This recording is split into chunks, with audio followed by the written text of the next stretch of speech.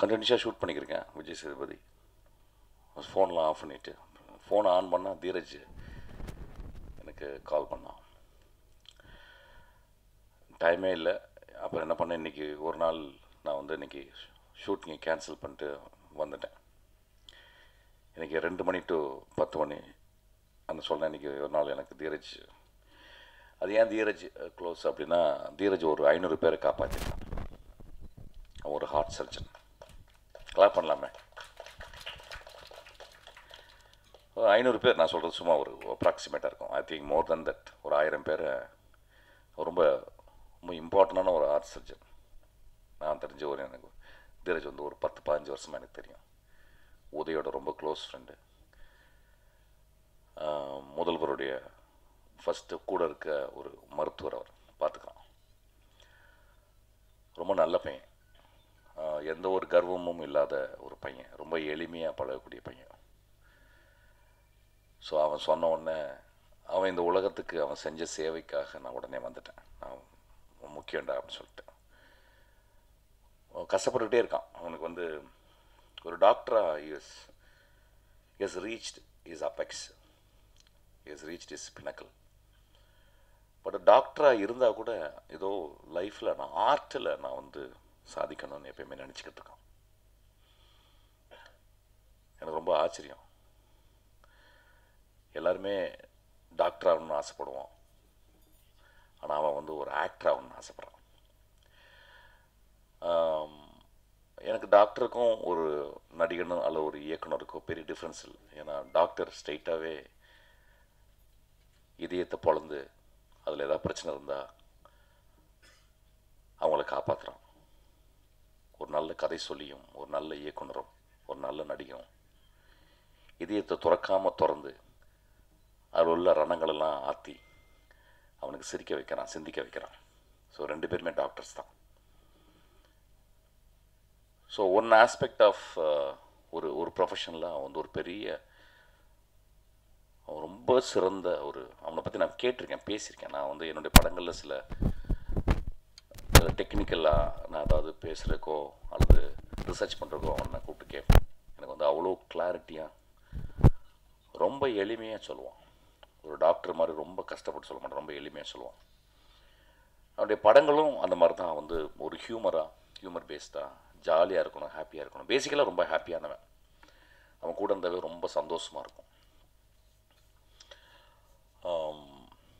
So இந்த படம் நான் வந்தது ரொம்ப சந்தோஷப்படுறேன். நான் மிஸ் பண்ணிட்டேன். பட் ஆனால் நான் பார்த்துக்கிறேன் um, அதுக்கப்புறம் வந்து சந்துரு. ஒரு நாள் நான் கோயம்புத்தூர் போயிட்டு இருந்தேன். அந்த ஃப்ளைட்டில் போகும்போது ஒரு ஏர் ஹோஸ்டர்ஸ் வந்து ஒரு ஆம்பளை ஏர் ஹோஸ்டர்ஸ் யோசிச்சுப்பாங்க என்னையே வந்து ஆம்பளை ஏர் ஹோஸ்டர்ஸ் தான் வந்து பார்க்கும். பொம்பளை ஏர் ஹோஸ்டர்ஸ் வந்து பார்க்கும். ஸோ ஒரு ஆம்பளை ஏர் ஹோஸ்டர்ஸ் வந்து பக்கத்தில் உட்காந்து முட்டி போட்டு உட்காந்து சார் உங்கள் ஃபேன் சார் அப்படின்னா நானும் புரியல. டே எந்த ஊர் ராணி யார் ராணி ஒன்றுமே புரியல. அப்படின்னு இல்லை சார் எனக்கு ரொம்ப படம் பிடிக்கும் சார் அப்படின்னா. பேர் என்ன? சந்துரு வச்சேன் உடனே நம்பர் கொடுக்குறீங்களா சார்? நான் கொடுத்தேன் ஆக்சுவலாக அதை கொடுத்து நோட் பண்ணிவிட்டு ஒரு ரெண்டு மாதம் கழிச்சு நான் உங்களை வந்து பார்க்க வரலாமா சார்? நான் பார்க்க வரலாம். வந்து உட்காந்து சினிமா பற்றி பேசிக்கிட்டு இருக்கான். சினிமாவை பற்றி பேசிட்டு பேசிட்டு பேசிட்டு இருந்துட்டு அதுக்கப்புறம் ஒரு ஒரு வருஷம் கழித்து மெசேஜ் சார் நான் ஒரு பொண்ணு சினிமாவை டைரக்ட் பண்ண போகிறேன் சார் அப்படின்னா. எனக்கு ரொம்ப இடையே என்னடா மேலே பறந்துக்கிறது ஏன்டா கீழே பறக்க ஆசைப்பட்றேன் அப்படின்னு. அப்புறம் வந்து யார்கிட்டயா ஒர்க் பண்ணியாடா இல்லை சார் யார்ட்டையும் ஒர்க் பண்ணல சார் எனக்கு பயங்கர கோவம் எனக்கு. யார்கிட்டயா ஒர்க் பண்ணணும்டா தம்பி. யாராவது ஒர்க் பண்ணணும் அப்படின்னு சொன்னேன். பட் அதுக்குள்ளே தீரஜ் எல்லாம் கலந்து பண்ணோடனே சரி ரைட் ஓகே இன்தூசியாசமாக நான் ஒரு ரெண்டு மூணு ஷார்ட் ஃபிலிம் பண்ணியிருக்கேன் சார் அப்படின்னு சொல்லிட்டு வந்து பண்ணான் அந்த படம் நான் பார்த்தேன். நல்லா இருந்துச்சு நல்ல ஃபிலிம் மேக்கிங் ஏதோ சம்திங் அது அது மக்கள்கிட்ட போய் பெருசாக சேரல ஆக்சுவலாக ஆனால் அதை கைவிடாமல் வந்து திடீர்னு திரும்பியும் கூப்பிட்டான். திரும்பி கூப்பிட்டு நான் அந்த படத்துக்கிட்ட கோ ப்ரொடியூசர் சார் நான் ரொம்ப ஆச்சரியமாக இருந்துச்சு. சினிமா உ- உயர பறந்தா கூட அவங்கள இழுக்குது அப்படி. இழுத்தேவா ஒரு பிளாக் ஹோல் தான் cinema. Not even even light cannot escape அந்த அளவு ஒரு பெரிய கிராவிடேஷனல் புல்லோட சினிமா இழுத்துக்கிட்டே இருக்கு. ரொம்ப நல்ல பையன்.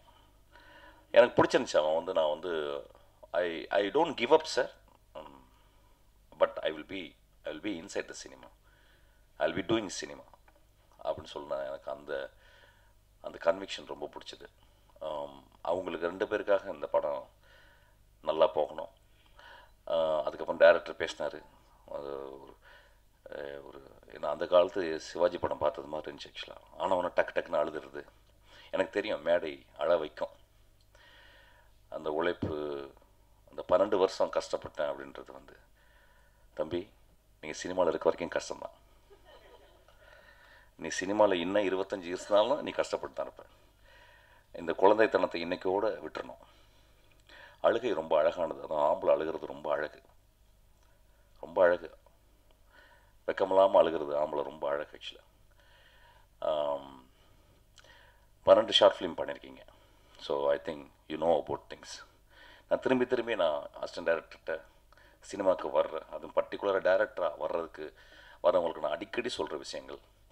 ஏதாவது ஒரு படத்தில் போய் ஒர்க் பண்ணுங்கள் ஏதாவது ஒரு ஏதோ ஒரு காரணம் அவங்கள வந்து நான் ஒர்க் பண்ணக்கூடாது அப்படின்னு நினச்சிக்கிறாங்க. அது அப்படி கிடையாது. அப்புறம் ஒரு பிளாட்ஃபார்ம் ஷார்ட் ஃபிலிம் பிளாட்ஃபார்ம் ஒரு பியூட்டிஃபுல் பிளாட்ஃபார்ம் இன்றைக்கி இருக்க பெரிய பெரிய டேரக்டர்ஸ்லாம் வந்து ஷார்ட் ஃபிலிம் பிளாட்ஃபார்மில் தான் வந்திருக்காங்க.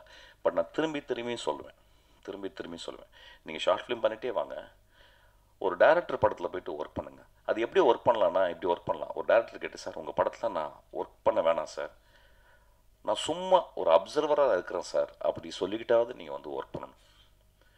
அது ஏன்னா அது அது ஒரு பெரிய ரொம்ப முக்கியமானது நான் நினைக்கிறேன் ஆக்சுவலாக இப்போ என்னுடைய அசிஸ்டன்ட் டேரக்டர்கள் நான் சொல்லும்போது வந்து கிட்டத்தட்ட நாங்கள் டிஸ்கஸ் பண்ணுற விஷயம் எல்லாமே சினிமாவை பற்றியே டிஸ்கஸ் பண்ணுறோம் ஒரு ஃபிஃப்டி எம்எம் லென்ஸுக்கும் ஒரு தேர்ட்டி ஃபைவ் எம்எம் லென்ஸுக்கும் ஒரு பதினஞ்சு டிகிரி தான் டிஃப்ரென்ஸு ஆனால் அது அந்த பதினஞ்சு டிகிரியை கற்றுக்கிறதுக்கு கிட்டத்தட்ட அஞ்சு வருஷம் ஆறு வருஷம் ஆகுது. ஒரு ஃபிஃப்டி எம்எம் வச்சுட்டு கொஞ்சம் பேக்கில் போன தேர்ட்டி ஃபைவ் எம்எம் ஆனால் கொஞ்சம் எவ்வளோ பேக்கில் போகிறதுன்னு தெரிஞ்சுக்கிறதுக்கு அஞ்சு வருஷம் தேவைப்படும் ஒரு ஷார்ட்டை எங்கே ஆரம்பிக்கிறது எங்கே முடிக்கிறது அதுக்குள்ளே எப்படி ஒரு கேரக்டர் என்ட்ரி ஒரு எக்ஸிட் ஒரு என்ட்ரி ஒரு எக்ஸிட்டை வந்து கற்றுக்கிறதுக்கே ஒரு மூணு நாலு வருஷம் ஆகுது. ஆனால் இன்றைக்கி இருக்க குழந்தைகள் வந்து they are expose to so many films they think they understand cinema through short films by by ஆனால் நீங்கள் ஒர்க் பண்ணுறது ரொம்ப ரொம்ப இம்பார்ட்டன்ட் ஒர்க் பண்ணும்போது இப்போ நான் வந்து இவ்வளோ வருஷங்கள் நான் ஒர்க் பண்ணியிருக்கேன். ஒரு கிட்டத்தட்ட இருபத்தஞ்சி வருஷம் கண்டினியூஸாக ஒர்க் பண்ணியிருக்கேன் நான் வெற்றிமாறன். என் கூட வந்தவன். நாங்கள் ரெண்டு பேர் தான் வெற்றிமாறன். அதுக்கப்புறம் ராம் ரஞ்சித். நெக்ஸ்ட் எங்களுக்கு நெக்ஸ்ட் ஜெனரேஷன் ஆனால் நாங்கள் இருபத்தஞ்சி வருஷம் நானும் வெற்றிமான் ஒர்க் பண்ணல. வெற்றிமான் ஒரு பெரிய ஜீனியஸ்ட்டை ஒர்க் பண்ணேன். ஒரு பாலுமேந்திரான்ட்டு ஒரு ஜீனியஸ்ட்டை ஒர்க் பண்ணேன். அதுக்கப்புறம் நான் ரொம்ப ஈஸ்தட்டிக்கலான ஒரு மாஸ்டர் ஒரு ஒரு பெயிண்டர் கதிர் அவர்கிட்ட ஒர்க் பண்ணேன். அதுக்கப்புறம் வின்சென்ட் செல்வா வந்து ஒரு நல்ல ஒரு ஃபோட்டோகிராஃபர் சினிமாட்டோகிராஃபர் அவர். சினிமாட்டோகிராஃபர் வந்து டேரக்டர் அவர். ஸோ ஏதோ ஒரு வகையில் எங்களுக்கு அந்த அந்த டேரக்டர்ஸ் வந்து எங்களுக்கு சில விஷயங்கள் சொல்லி சொல்லித்தந்தாங்க ஒரு நல்ல ஞாபகம் இருக்குது ஒரு நாள் நான் வந்து ராஜஸ்தானில் ஷூட் பண்ணும்போது எங்கள் டேரக்டர் போயிட்டு என்ன லென்ஸ் வச்சுருக்கேன்? போய் பார்த்துட்டு வாடா அப்படின்னா. நான் போய் லென்ஸு போய் அந்த கேமராமேன்ட்ட கேட்டேன். அந்த கேமராமேன் சும்மா விளையாட்டுத்தனமாக வந்து ஃபிஃப்டி அப்படின்ட்டு நான் போயிட்டு சார் ஃபிஃப்டி லென்ஸ் வச்சிருக்காரு சார் அப்படின்னு. உடனே டே அறிவில்லைடா அது டுவெண்ட்டி ஃபோர் ஆனார். அது வரைக்கும் எனக்கு தெரியாது. கிட்டத்தட்ட ஒரு ரெண்டு மூணு மாதம் ஒர்க் பண்ணேன். எனக்கு ரொம்ப அசிங்கமாக போச்சு. அப்போ அதான் தெரிஞ்சுக்கிது ஒரு ஃபிஃப்டி லென்ஸுக்கும் டுவெண்ட்டி ஃபோர் லென்ஸுக்கும் அவ்வளோ பெரிய டிஃப்ரென்ஸ் இருக்குன்னு சொல்லி இப்போ நேராக போயிட்டு அவர்கிட்ட கேட்டேன் என்ன சார் அப்படி சொல்லிட்டீங்களேன்னு? இல்லை தம்பி நான் ஒயிட் ஷார்ட் எடுக்கணும் தம்பி. இருக்கிறதுலே ஒயிட் இந்த இந்த இந்த பாலைவனத்தை காட்டணும் அதுக்காக டுவெண்ட்டி ஃபோர் ஒயிட் எடுத்துருக்கேன் அது வரைக்கும் எனக்கு அந்த அந்த லென்சிங்னா என்னன்னே தெரியாது. அன்றைக்கி நான் போயிட்டு வீட்டில் அன்றைக்கி ரூமில் போயிட்டு ஒரு இருபது பேப்பர் எழுதுகிற பேப்பரை கிழித்து தச்சேன். தச்சுட்டு அதுக்குள்ளே ஒரு பென்சில் சின்ன நோட்டு அதுக்கப்புறம் நான் ஒர்க் பண்ண எல்லா படத்துலையும் நாலஞ்சு படம் அஞ்சு படம் ஒர்க் பண்ணேன் அதுக்கப்புறம். ஒவ்வொரு ஷாட்டுக்கிட்டையும் போயிட்டு அந்த அந்த ஃபோட்டோ அந்த ஃபோக்கஸ் புள்ளிட்டு போய் ஆனால் இது என்ன லென்ஸ்னான்னு கேட்டுட்டு அந்த லென்ஸை எழுதிட்டு மானிட்டரில் வந்து அந்த அந்த அந்த அந்த ஷாட் இருக்கும்.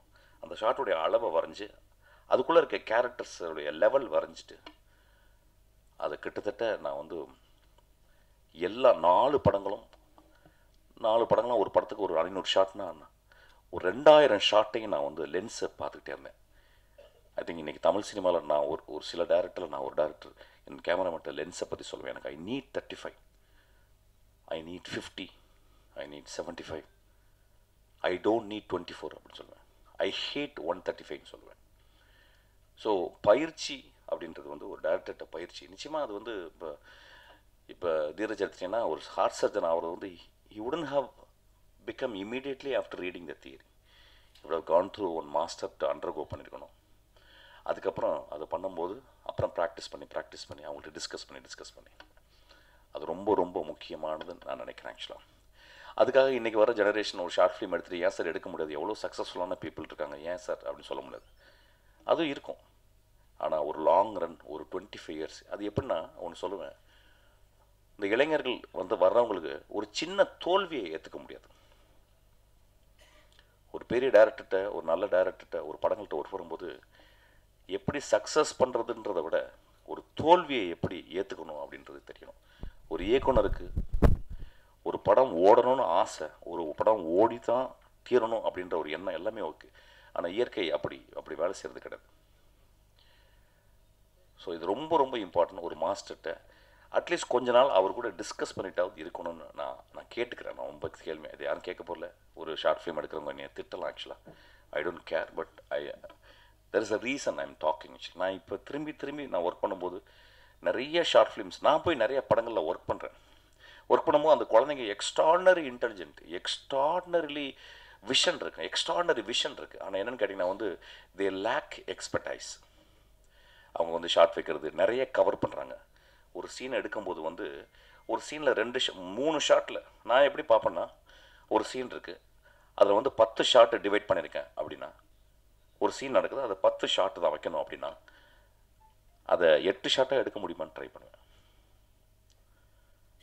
எட்டு ஷாட்டு எடுத்த முடியும் அப்படின்னு சொன்னால் அதை ஆறு ஷாட்டாக எடுக்க முடியுமான்னு பார்ப்பேன். ஆறு ஷாட்டு எடுக்க முடியும்னா ஏன் நம்ம நாலு ஷாட்டில் எடுக்கக்கூடாதுன்னு ட்ரை பண்ணுவேன்? நாலு ஷாட்டில் எடுக்க முடியும்னா ரெண்டு ஷாட்டை முயற்சி செய்வோம்ப்பா ரெண்டு ஷாட்டில் அந்த சீன் எடுக்க முடிஞ்சுன்னா ஏன் ஒரு மிஸ்ஸான் சீனா ஒரே ஷாட்டில் ஏன் எடுக்கக்கூடாதுன்னு பார்ப்பேன்.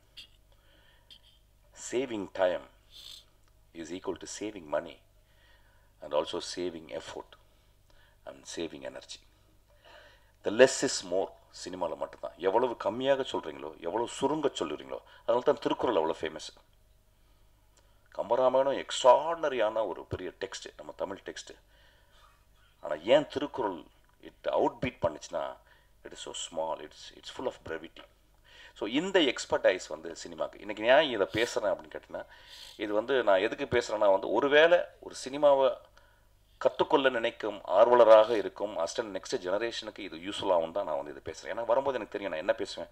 ஐநோ தீரஜை பற்றி பேச முடியும். அதுக்கப்புறம் நான் வந்து சந்துருவை பற்றி பேச முடியும். I don't anybody on the stage maybe இந்த குழந்தை இப்போ அழுததை பார்த்துட்டு then I can talk to him so very important first next ஜெனரேஷனுக்கு they should develop some expertise நிறைய மாஸ்டர் கிளாஸஸ் இருக்குது நிறைய நெட்டில் மாஸ்டர் கிளாஸஸ் இருக்குது you can join you can come and talk to me எப்பயாவது மணி சார்ட்ட போய் வெ- போய் டேரெக்டாக போய் பேசலாம். வெற்றி சார் நீங்கள் எதாவது பேசுங்க சார் அப்படின்னு கேட்கலாம். So these are the very important ஏன்னா இன்றைக்கி தமிழ் சினிமா வந்து இன்றைக்கி வந்து அவ்வளோ கஷ்டத்தில் இருக்குது எவ்வளோ கஷ்டம்னு எனக்கு தெரியாது. அவ்வளோ நான் சொல்ல முடியாது அவ்வளோ கஷ்டத்தில் இருக்குது ஒரு படங்கள் வந்து விற்கிறது கிடையாது. ஒரு படங்கள் வந்து நம்மளுக்கு நம்மளுக்கு கிடைச்ச எல்லா சலுகைகளும் இப்போ வந்து அப்படியே மூடிக்கிச்சு. I don't want to mention that I don't want to reveal that so expertise is very important that also இருக்கணும். அதனால் ஒன்றும் கவலைப்படாத தம்பி. நீங்கள் வந்து வின் பண்ணுவீங்க. நீங்கள் உங்கள் மூஞ்சியை பார்த்தோன்னே தெரிஞ்சு நல்ல பையன் தெரிஞ்சுது. என்ன? அப்புறம் I understand your emotion actually you will come up big don't worry அவருக்கு ஒரு கிளாப் அடிப்பான் அவருக்கு. Will come up big will come up big நான் மூஞ்சியை பார்க்கல தெரியுது. அது ஏதோ ஒரு குழந்தை. அவங்க அம்மா மூஞ்சி இருக்கு அப்படியே.